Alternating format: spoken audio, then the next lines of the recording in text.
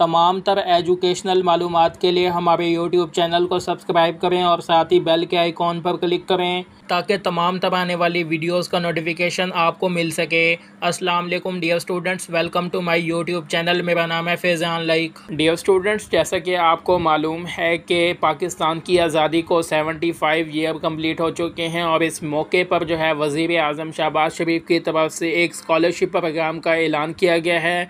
जिसका नाम 75 national top talent scholarship program है।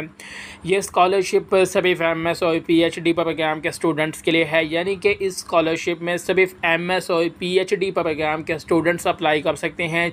इसमें बी एस प्रोग्राम के स्टूडेंट्स अप्लाई नहीं कर सकते, मैट्रिक के स्टूडेंट्स अप्लाई नहीं कर सकते, इंटरमीडिएट के स्टूडेंट्स अप्लाई नहीं कर सकते। तो यहाँ पर आप स्कॉलरशिप का एलिजिबिलिटी क्राइटेरिया देख सकते हैं। इसमें सबसे पहले कहा गया है कि जो पाकिस्तानी और एजे के नेशनैलिटी होल्डर हैं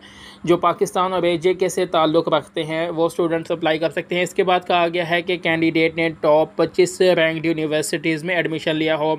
यानी कि जो Q S Times higher education के मुताबिक टॉप जो ट्वेंटी फाइव यूनिवर्सिटीज़ हैं, उनमें आपने एडमिशन लिया हो किसी यूनिवर्सिटी में और सिर्फ़ सिलेक्टेड सब्जेक्ट्स में। यानी कि जो एच ई सी की तरफ़ से अनाउंस किए गए हैं, उन सब्जेक्ट में आपका एडमिशन हो।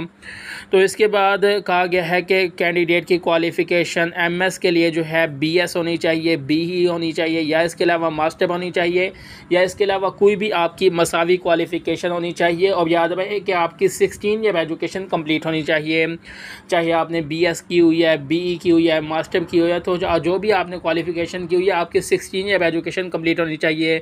और पी एच डी के लिए आपने M S M phil M E या इसके अलावा कोई मसावी क्वालिफ़िकेशन की हो और इसमें आपकी एटीन ईयर एजुकेशन कंप्लीट होनी चाहिए। यानी कि अठारह साल तालीम आपकी मुकम्मल होनी चाहिए। और इसमें कहा गया है कि सिर्फ़ फ़र्स्ट डिवीज़न के स्टूडेंट्स अप्लाई कर सकते हैं, यानी कि जिनके एकेडमिक क्वालिफ़िकेशन में फ़र्स्ट डिवीज़न है, इसमें सेकंड डिवीज़न वाले स्टूडेंट्स अप्लाई नहीं कर सकते और थर्ड डिवीज़न वाले स्टूडेंट्स अप्लाई नहीं कर सकते। जिन स्टूडेंट्स की फ़र्स्ट डिवीज़न है सिर्फ़ वही स्टूडेंट्स अप्लाई कर सकते हैं। इसके बाद कहा गया है कि जो भी आपकी मुतल डिग्री है, उसमें आपकी थ्री सी जी पी होनी चाहिए। अगर आपकी total four C G P है तो उसमें आपकी थ्री सी जी पी होनी चाहिए। और अगर आपकी फ़ाइव सी जी पी है तो उसमें आपकी three point seven five C G P होनी चाहिए।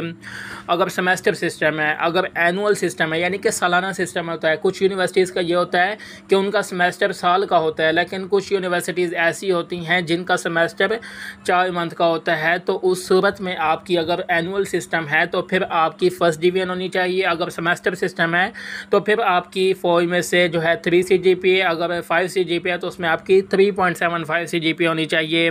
इसके बाद एज के बारे में बताया गया है कि आपकी जो एज है ये कितनी होनी चाहिए?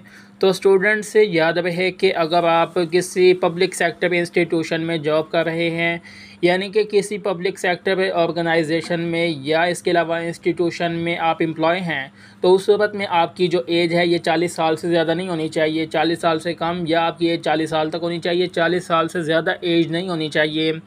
और इसके अलावा अगर आपकी कोई भी जॉब नहीं है और आपने सिक्सटीन ईयर क्वालिफ़िकेशन कंप्लीट कर ली है तो उस वक्त में फिर आपकी जो एज है, ये पैंतीस साल से ज़्यादा नहीं होनी चाहिए। यानी कि पैंतीस साल से ज़्यादा वाले स्टूडेंट्स अप्लाई नहीं कर सकते।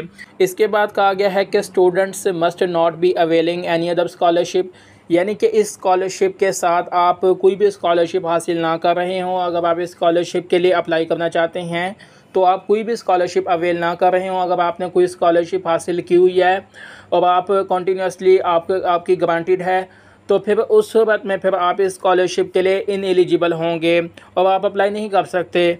इसके बाद बात करें कि अप्लाई किस तरह करना है तो एच की वेबसाइट से आप, आपने ऑनलाइन अप्लाई करना होगा e portal dot H C dot G O V dot P K पर। और अप्लाई करने की जो एप्लीकेशन फ़ीस होगी, ये सात सौ रुपीज़ होगी। सात सौ रुपीज़ आपको पे करना होंगे, जो कि एप्लीकेशन फ़ी होगी। याद रहे कि स्टूडेंट्स अप्लाई करने की आखिरी तारीख 21 मार्च 2023 है। और आपके पास काफ़ी ज़्यादा टाइम है।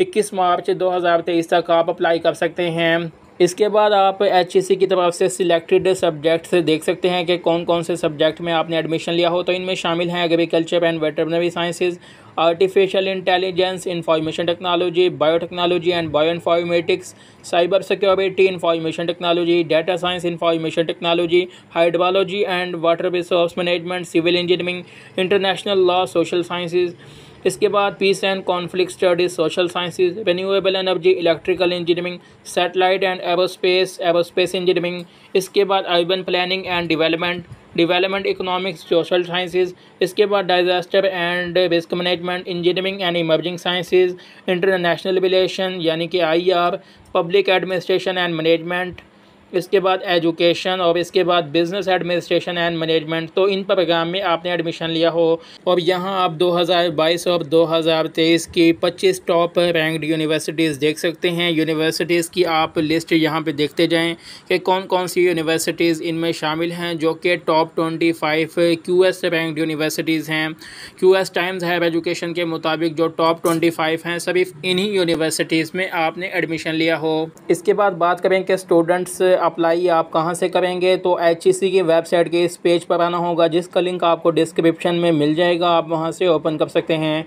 तो यहाँ पर आपने अप्लाई ऑनलाइन नाउ के ऑप्शन पर क्लिक करना होगा, जिसके बाद आपके सामने ये पेज ओपन हो जाएगा, जो कि आप स्क्रीन पर देख रहे हैं।